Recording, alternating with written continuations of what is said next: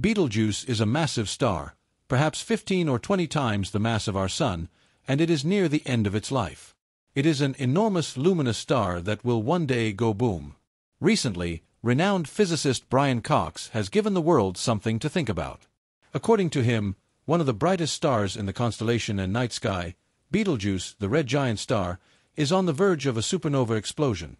All data received by astronomers also confirm this impending catastrophe. Now we wonder, are we about to witness a disastrous supernova explosion or is it mere speculation? Let's find out the dangers surrounding Betelgeuse and look at the warnings Brian Cox has given about the supernova. The giant red star of significant proportion, which earned its name as Betelgeuse, shines brighter than most of its counterparts and is located in the Orion constellation, particularly the left shoulder. Although it has long been in the focus of observers due to its distinctive features, the recent findings about it have intensified curiosity and interest in the giant celestial body. Naturally, a star is considered a regular supernova if it measures about eight times the Sun's weight. However, the celestial marvel Betelgeuse breaks all protocol by being more than 700 times the size of the Sun, much more than anyone can imagine and about 15,000 times more massive. The recognition of this giant star can be traced back to the Greek astronomer Claudius Ptolemy, who was secretive about the star's attributes when they were not readily known to all and were limited to color and position. Following advancements in instruments and investigations since then, it has become easier to analyze celestial bodies like Betelgeuse and gain insight into their properties. The giant red star Betelgeuse seems to be aging well, increasing in mass as it continues to exist. The star is about 8 to 8.5 million years old, a senior age in stellar measurement, but relatively young in human terms.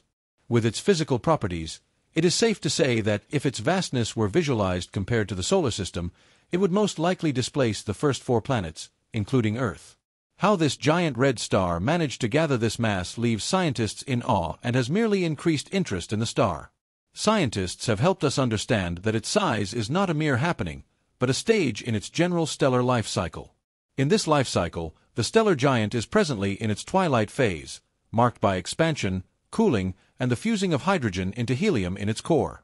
Its current phase being giant red and hot is known as the supergiant phase, which represents the culmination of millions of years of evolution involving various processes and changes. These transformations have managed to alter it from the hot blue star it once was to the giant red star it is now. A change influenced by nuclear fusion and gravity. The color change of Betelgeuse is due to the cooler temperature of its surface compared to other stars, including the Sun.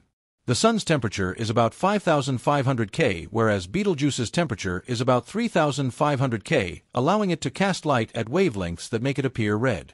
Just as its size is a result of its growth phase, its color gives information about its condition, gaseous exchange, and vastness at a given time.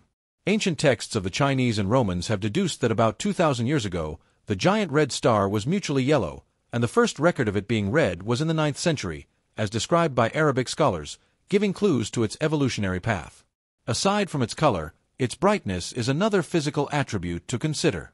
Betelgeuse is a semi-variable star, meaning the intensity of its light increases and decreases over time. This property of luminosity has fascinated astronomers and astrophysicists over the years.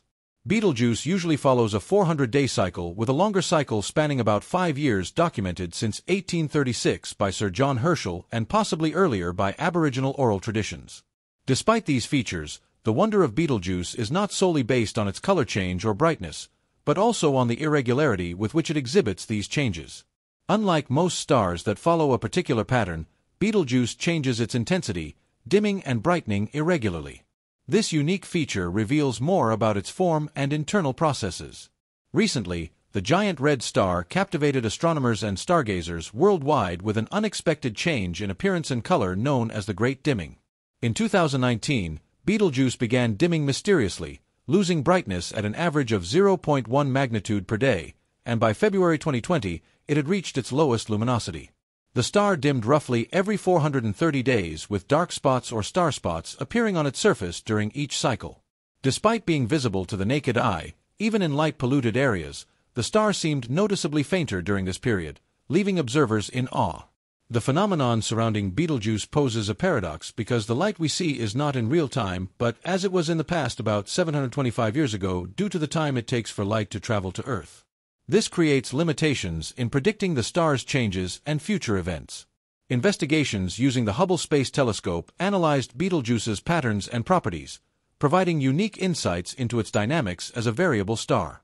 The Hubble sensitivity to ultraviolet light allowed researchers to examine different surface layers of the star, revealing processes involving turbulent convection cells.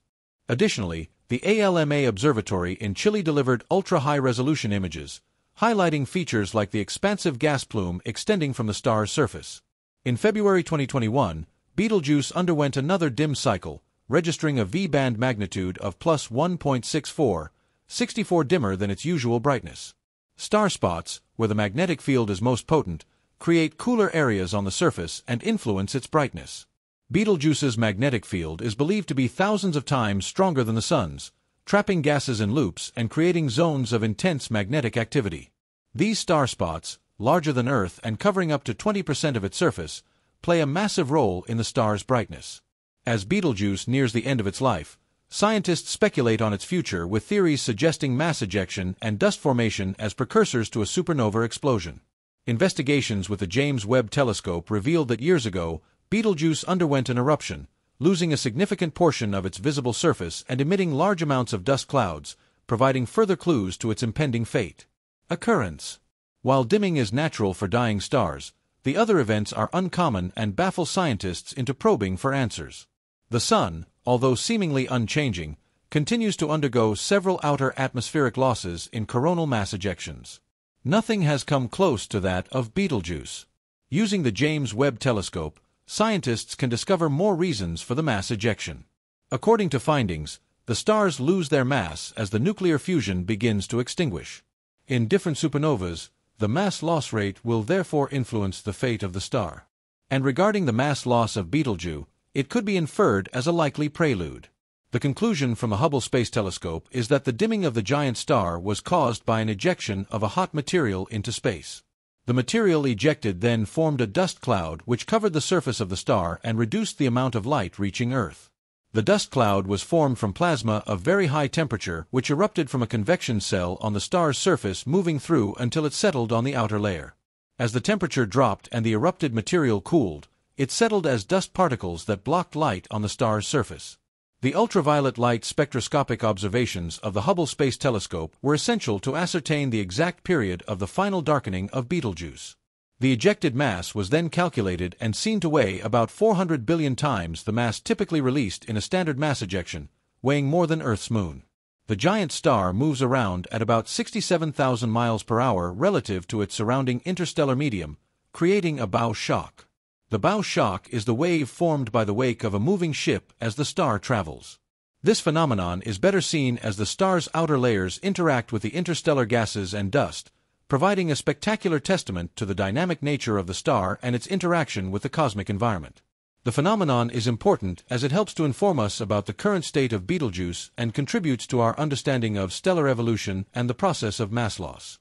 It has also been observed that since the ejection of the large mass, the star has been in an unstable state.